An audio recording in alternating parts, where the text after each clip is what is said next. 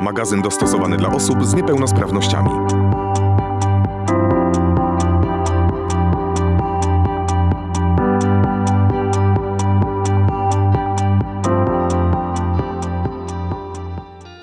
Zmiany, jakie są możliwe przy wsparciu z Unii Europejskiej, widać na każdym kroku. Z unijnych dotacji, oprócz samorządów, mogą skorzystać także prywatne firmy.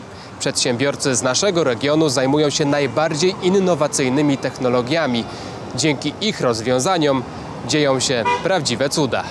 I to dosłownie, tak jak TUF Enforce Medical Technologies. To firma, która zajmuje się protezami kończyn dolnych.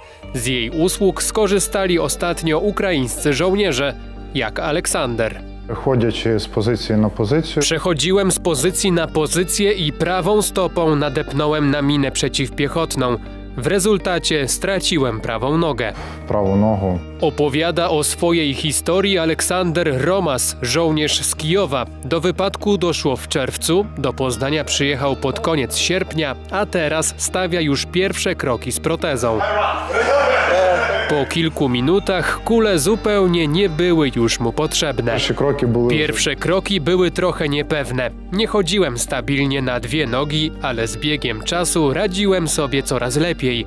Teraz chcę ćwiczyć i tylko chodzić, chodzić i chodzić.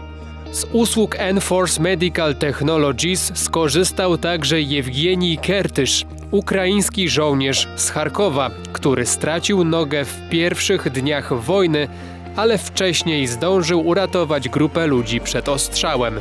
Na dany moment mam już protezę, jak możecie zauważyć. Proteza jest super, a największy problem to nauka. Znów pomału uczę się chodzić. Zarówno Aleksander, jak i Jewgenij korzystają z protezy stopy bionicznej, największej dumy Enforce Medical Technologies. Pacjenci oprócz samej protezy otrzymują także niezbędne wsparcie. My tutaj jakby chcemy też e, zaproponować pacjentom to, że my się opiekujemy nimi przez 3 lata, nie tylko dajemy protezę, bo to można zrobić każdy, ale my się nimi opiekujemy i oni przez 3 lata są u nas w takim programie, a co 3 lata jakby jest wymiana protezy, więc jakby mogą sobie bez problemu to wtedy użytkować.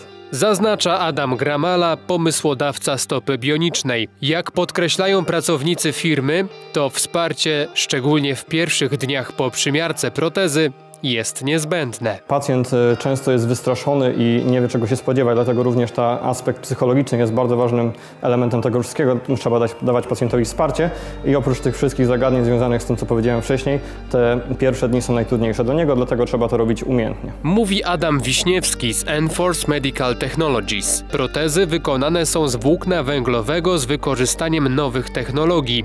Wszystko to sprawia, że proteza jest bardziej wytrzymała i wygodna dla pacjenta. Dofinansowanie z funduszy europejskich dla tego zadania wyniosło 1,2 miliona złotych.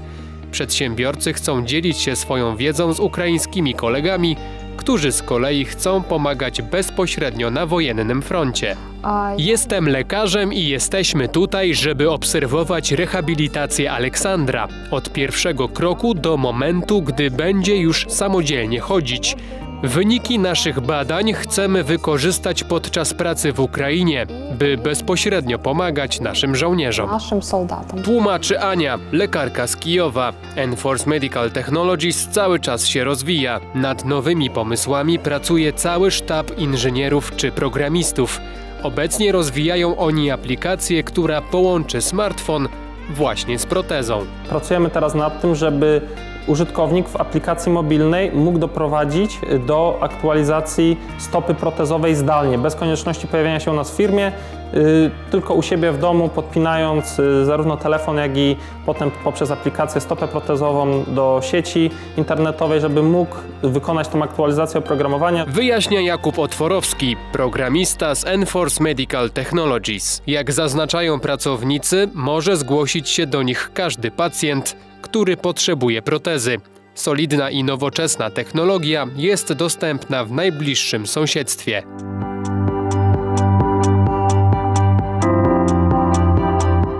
Prawdziwe cuda są możliwe także dzięki wynalazkom, które opracowuje firma Invebit.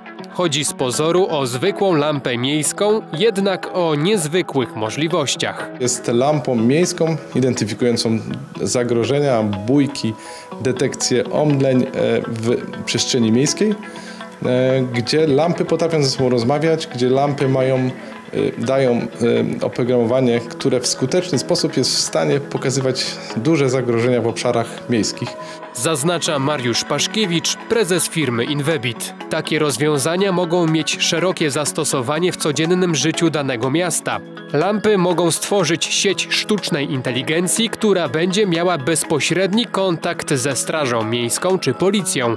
Dodatkowo mogą wykrywać zagrożenie, rozpoznać wybuch, strzał, ale również przy pomocy kamery groźnego przestępcę. Do lampy dołączona jest elektronika, która e, potrafi przetwarzać wideo w bardzo szybki sposób i potrafi go interpretować. E, Ma w sobie zapisane pewne wzorce, dzięki którym musi e, ta sztuczna inteligencja podjąć decyzję i z konkretnym procentem pewności poinformować operatora, że nastąpiło konkretne zdarzenie. Dofinansowanie z funduszy europejskich dla tego zadania wyniosło prawie 850 tysięcy złotych. Ale to nie tylko rozwiązania poprawiające nasze bezpieczeństwo. Lampa może wykryć ruch człowieka i odróżnić go na przykład od przebiegającego zwierzęcia i dopiero wtedy oświetlić mu drogę. W erze wysokich cen za energię taka propozycja pomoże zaoszczędzić wiele pieniędzy. Projekty unijne firm Enforce Medical Technologies i Inwebit są w gronie 19 nominowanych w pierwszej edycji plebiscytu Łączy Nas Wielkopolskie na najbardziej wartościowe projekty zrealizowane z WRPO 2014-2020. Za pośrednictwem strony łączynaswielkopolskie.pl będzie można oddać swój głos. Głosowanie rozpocznie się 3 października i potrwa do 23 października.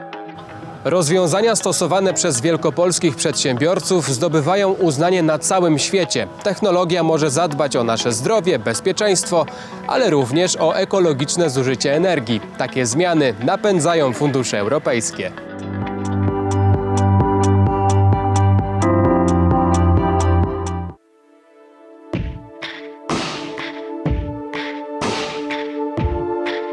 Już 18 września nad Jeziorem Maltańskim odbędzie się piąta edycja imprezy Zabiegaj o fundusze.